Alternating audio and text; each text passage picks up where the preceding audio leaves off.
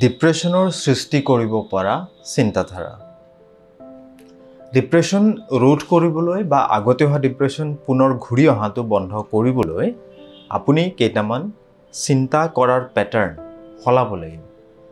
প্ৰথমতে আপুনি এই চিন্তাধাৰাৰ পদ্ধতিক চিনাক্ত কৰিব লাগিব আৰু তাৰপিছত এইবোৰ গম পোৱাৰ পিছত বাদ দিব লাগিব। অতি সাধাৰণীকৰণ বা জেনেৰেলাইজেশ্যন কিছুমানে বিশ্বাস কৰে যে যদি এবাৰ কিবা এটা বেয়া হৈছে তেনেহ'লে বাৰে বাৰে বেয়াই হ'ব। কেতিয়াবা আমি ভাবোঁ মই আগতে এনেদৰে ভুল কৰিছিলোঁ এতিয়া আকৌ একেটা ভুলকে কৰিম। বা এই কামটো বেয়া হৈছিল গতিকে এইবাৰো বেয়াই হ'ব। কেতিয়াবা আমি আকৌ ভাবোঁ পৃথিৱীৰ সকলো মানুহ বেয়া। বা চাৰিওফালৰ পৰিৱেশ বহুত বেয়া। আৰু এনে কথাবোৰে আমাৰ মানসিক অৱস্থাক পোনপটীয়াকৈ নিগেটিভভাৱে প্ৰভাৱিত কৰে। আমাৰ মনবোৰ বেয়া হয় কাম কৰি একো লাভ নাই যেন লাগে আৰু একো কৰিবলৈ আমি উৎসাহ বিচাৰি নাপাওঁ।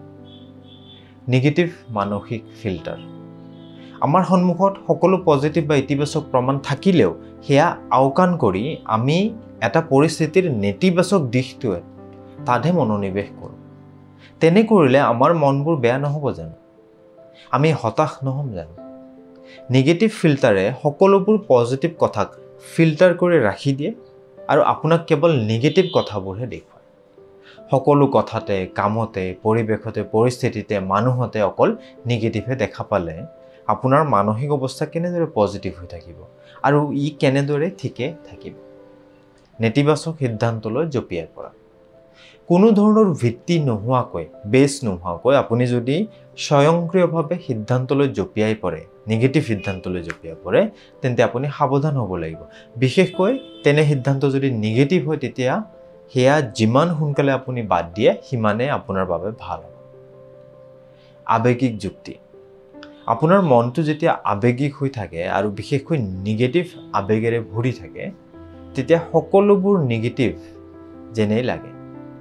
যন্ত্ৰণা লাভ কৰি থকা সময়ত তেনে চকুৰে জীৱনলৈ চালে আমি সকলোবোৰ কথা ম্লান আৰু আন্ধাৰ যেনেই দেখি। সেই সময়ত আমাৰ মনৰ চিন্তাধাৰা বিকৃত হৈ থাকে। যেনে হ'ব লাগিছিল তেনে নহয় আন কিবা হৈ থাকে। তেতিয়া সকলো কামেই ভয়ংকৰ আৰু অসম্ভৱ যেন লাগিব। এনে সময়ত আপুনি ডিপ্ৰেশ্যনত পৰাৰ সম্ভাৱনা বেছি আৰু যদি আগতে ডিপ্ৰেশ্যন হৈছিল সি ঘূৰি অহাৰ সম্ভাৱনাও বাঢ়ি যায়। ভুল লেবেল ব্যৱহাৰ কৰা। আপুনি যদি প্ৰায় নিজকে বিভিন্ন লেবেল লগায় যে মই এনে মই তেনে বা মই মূৰ্খ মই অকৰ্মণ্য ইত্যাদি ইত্যাদি তেনেহ'লে ই সহজে আপোনাক ডিপ্ৰেশ্যনৰ কবলত পেলাব পাৰে। নিগেটিভ লেভেলবোৰ আপোনাৰ পৰিচয় হৈ পৰে আৰু তেনে পৰিচয় যদি নিগেটিভ হয় তেতিয়াহ'লে আপুনি জানো অনবৰতে কোনো কামৰ নহয় যেন আৰু নিগেটিভেই অনুভৱ কৰি নাথাকিব। সকলো কথাকে ব্যক্তিগতভাৱে লোৱা। কেতিয়াবা কোনো কাৰণ নাথাকিলেও আমি দায়িত্বশীল আৰু দোষী যেন অনুভৱ কৰোঁ। কিছুমান কাম আমাৰ হাতত নাথাকে।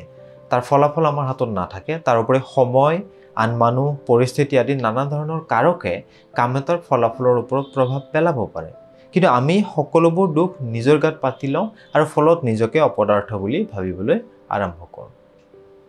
এনেধৰণৰ চিন্তাৰ পেটাৰ্ণ বা অভ্যাস যদি আপুনি নিজৰ ক্ষেত্ৰত দেখা পাইছে তেতিয়াহ'লে সেয়া আপুনি কিন্তু সোনকালে সলাব লাগিব বা বাদ দিব লাগিব।